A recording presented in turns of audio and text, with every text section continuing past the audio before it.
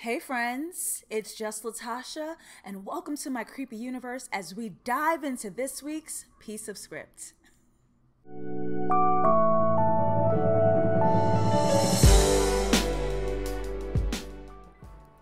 Hello, welcome back. You will have this show and me every Thursday right here on this channel. So make sure you are subscribed, hit the notification bell so you guys are aware of when I drop that new heat. And of course, give this video a thumbs up, let YouTube know you love it.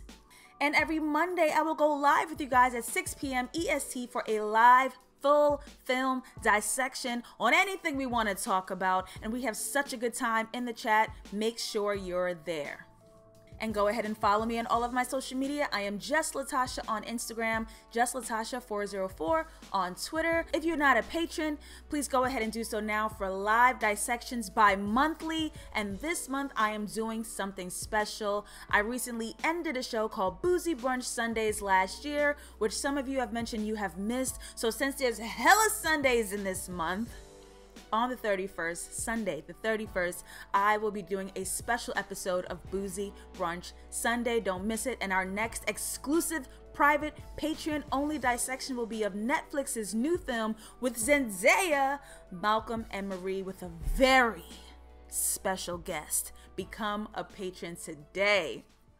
Now that we're here, we are diving into one of my favorite films and one of my favorite genres, Hereditary. Now, if you're a patron, you've already seen me dissect this, but I'm going to do something special for today's piece of scripts series. I wanted to pay attention to the theme, but let's start off with what we're talking about, what we're talking about, so what we're talking about. Hereditary is the 2018 horror film written and directed by Ari Aster, which circles a grieving family who are haunted by tragic and disturbing occurrences. And it also stars Miss Toni Collette, who the Oscars were playing on your performance, ma'am, and I do apologize on their behalf. Because what this white woman did with what she had. But anyway, one of the coolest things that happened in this movie, I mean, besides Ari Aster absolutely fucking us up along with the characters, is his use of inversion. Now, follow me here. The things that appear to be good are actually invitations to absolute turmoil. And the things that are absolutely horrific might have been moments of salvation. Let's dive in.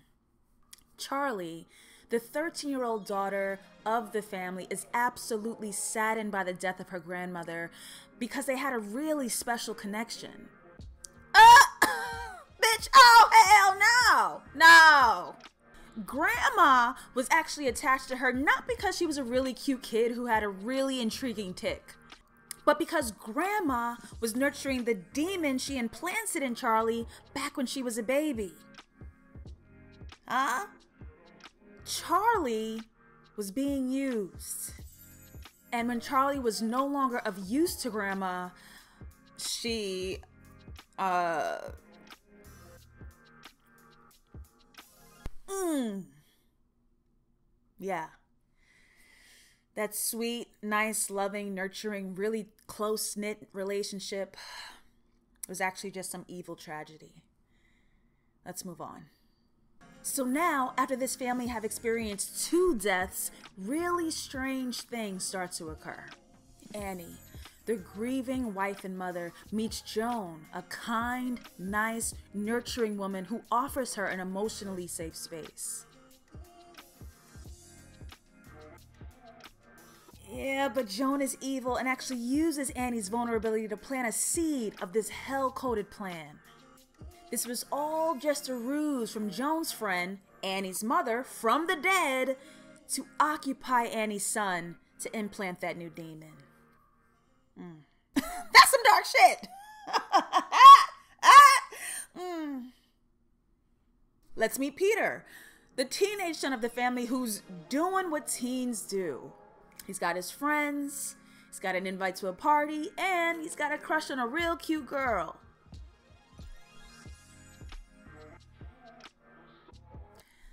Sorry guys, this this is all going to go wrong. Yeah. While we're consumed with Peter and what's going on, his teacher is actually telling a really interesting story about a man named Heracles. Heracles is a Greek mythological character who's just some pawn in a terrible, hopeless machine. A tragedy. Yeah, uh, Heracles is uh, you and I. Speeding rapidly and arrogantly down fate sealed by hellfire and doom. Annie, in sheer terror, trying to solve this mess, rushes to her husband to ask him for help. But he's a psychiatrist. It's literally his job to see the crazy in people. That normally would be a good thing. So, even though Annie is panicking and telling him the truth of all the happenings going on and what the plan is, he don't believe her. All he sees is his wife mentally spiraling out of control. His intelligence, something that's supposed to be virtuous, acts as a hindrance to her solving this problem and leading her family back to safety.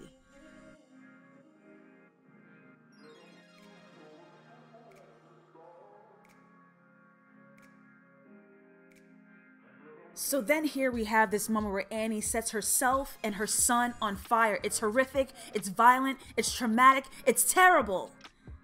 Right?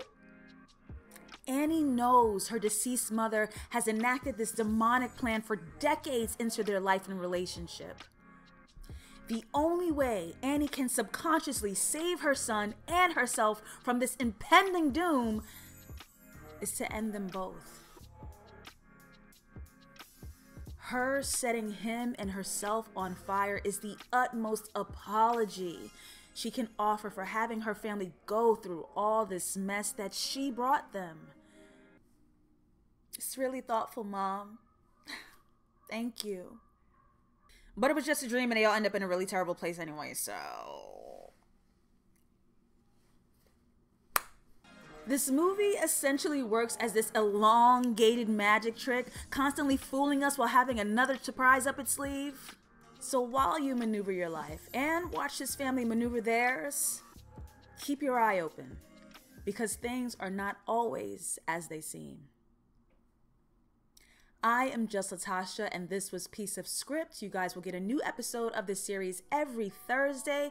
Please join me every Monday for a live show, a dissection of one of our favorite films or TV series, 6 p.m. EST. Go ahead and hit that subscribe button on this channel. Become a part of this family.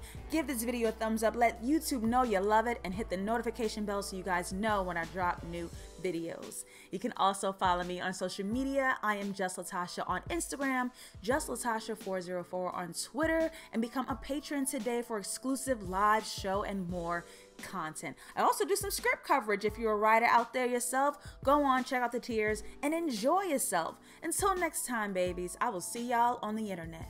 Bye.